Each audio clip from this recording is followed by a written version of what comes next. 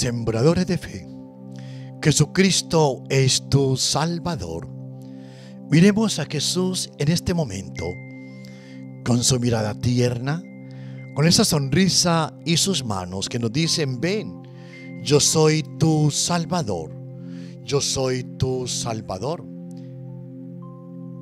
No se fijó en lo bueno que hubiéramos hecho, sino que nos tuvo misericordia y nos salvó. En el bautismo volvimos a nacer y fuimos renovados por el Espíritu Santo que derramó Dios sobre nosotros por Cristo Jesús, Salvador nuestro. Como dice San Juan, nosotros mismos hemos visto y declaramos que el Padre envió al Hijo para salvar al mundo. Y yo diría que el Señor nos está salvando a nosotros y nos está fortaleciendo con su palabra.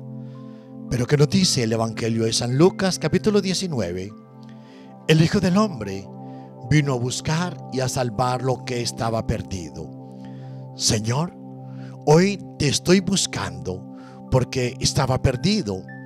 Hoy te estoy buscando porque estaba desorientado. Hoy te estoy buscando porque tu palabra me quema. Nosotros mismos lo hemos oído y estamos convencidos de que este es verdaderamente el Salvador del mundo. Estamos convencidos que Dios envió a su Hijo para salvarnos, pues por la gracia de Dios han sido salvados por medio de la fe. Ustedes no tienen mérito en este asunto, es un don de Dios y no tienen por qué sentirse orgullosos porque no lo conseguimos con sus obras. Cerremos los ojos y digamos, Señor, tú eres la verdad. Señor, tú eres la verdad. Señor, tú eres la verdad. Y mi espíritu se alegra en el Dios que me salva. En verdad les digo, el que crea tiene vida eterna. Señor, yo creo en ti y quiero tener vida eterna. Tengo mis ojos cerrados, tengo mis oídos abiertos y tengo mi corazón palpitando ante ti, como dice San Pablo. Porque si confiesa con tu boca que Jesús es el Señor y crees en tu corazón que Dios lo resucitó de entre los muertos, serás salvo. Señor, hoy quiero ser salvo. Hoy quiero recibir, Señor, tu misericordia. Vamos a colocar las manos en nuestro corazón y dejemos que el Señor tenga compasión en mí. Como dice el Evangelio de San Lucas, capítulo 18, versículo 13. En cambio, el publicano, manteniéndose distante, no se atrevía ni a alzar los ojos al cielo, sino que se golpeaba al pecho diciendo, oh Dios, ten compasión de mí, que soy pecador.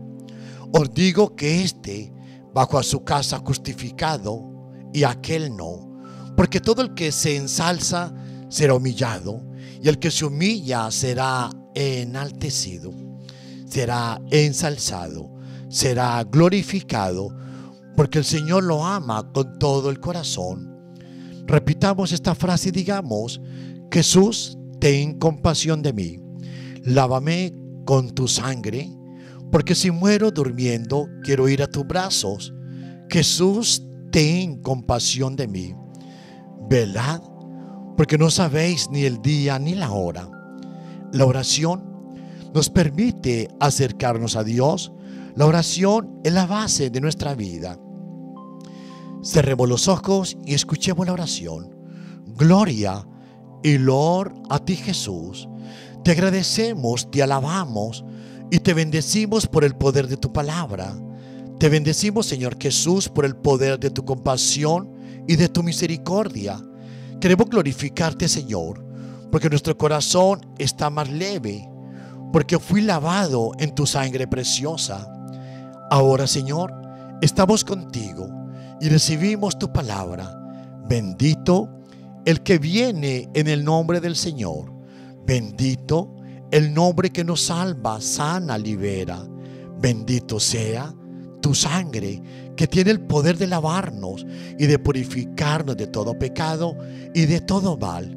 Reflexionemos, amemos y hoy hemos encontrado la presencia de nuestro Señor Jesucristo.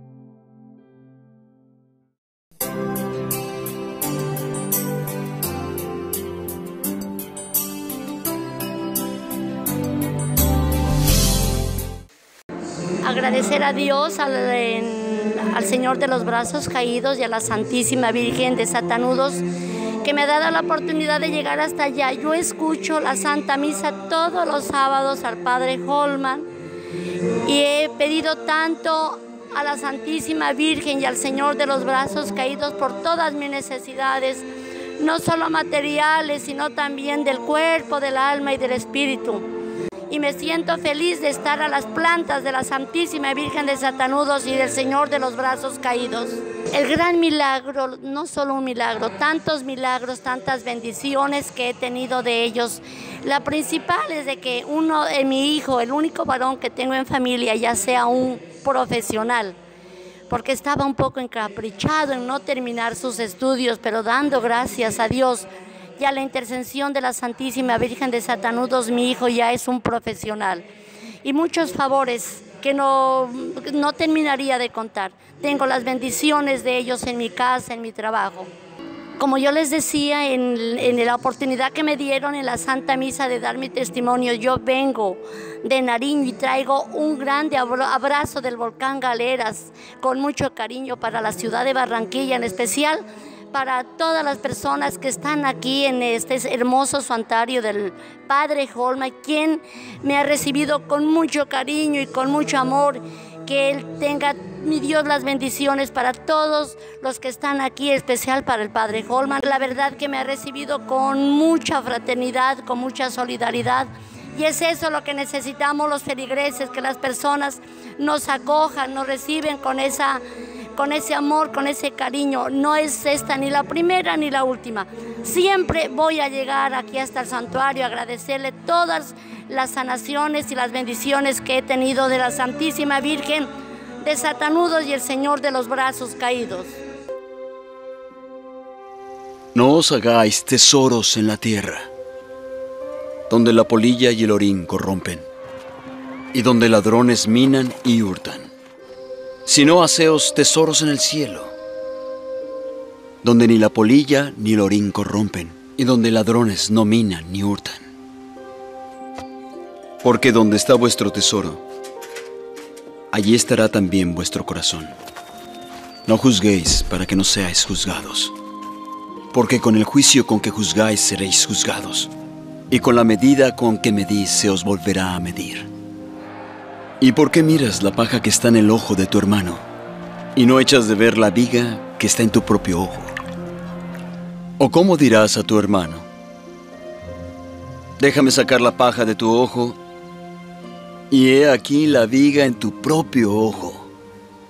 Hipócrita, saca primero la viga de tu propio ojo y entonces verás bien para sacar la paja del ojo de tu hermano. Pedid y se os dará. Buscad y hallaréis. Llamad y se os abrirá. Porque todo el que pide recibe, y el que busca halla, y al que llama se le abrirá. ¿Qué hombre hay de vosotros que si su hijo le pide pan, le dará una piedra? Y si le pide un pez, le dará una serpiente. Si vosotros siendo malos, sabéis dar buenas dádivas a vuestros hijos, ¿cuánto más vuestro Padre que está en los cielos dará buenas cosas a los que le piden? Así que todas las cosas que queráis que los hombres hagan con vosotros, así también haced vosotros con ellos porque esta es la ley y los profetas. Entrad por la puerta estrecha, porque ancha es la puerta y espacioso el camino que lleva a la perdición, y muchos son los que entran por ella. Porque estrecha es la puerta y angosto el camino que lleva a la vida, y pocos son los que la hallan. Y guardaos de los falsos profetas, que vienen a vosotros vestidos de ovejas, pero por dentro son lobos rapaces. Por sus frutos los conoceréis. ¿Se recogen uvas de los espinos o higos de los abrojos? No puede el árbol bueno dar malos frutos, ni el árbol malo dar buenos frutos. Todo árbol que no da buen fruto es cortado y echado en el fuego. Así que por sus frutos los conoceréis. No todo el que me dice, Señor, Señor, entrará en el reino de los cielos, sino el que hace la voluntad de mi Padre que está en los cielos. Muchos me dirán en aquel día, Señor, ¿no profetizamos en tu nombre y en tu nombre echamos fuera demonios y en tu nombre hicimos muchos milagros? Entonces les declararé, nunca os conocí. Apartaos de mí, hacedores de maldad. Por lo tanto, cualquiera que oye estas palabras mías y las hace, le compararé a un hombre prudente que edificó su casa sobre la roca. Y descendió la lluvia, y vinieron ríos, y soplaron vientos, y azotaron aquella casa, pero no cayó, porque estaba sobre la roca. Y a cualquiera que me oye estas palabras y no las hace, le compararé a un hombre insensato que edificó su casa sobre la arena y descendió la lluvia. Y vinieron ríos.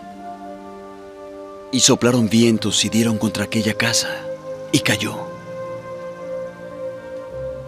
Y fue grande su ruina.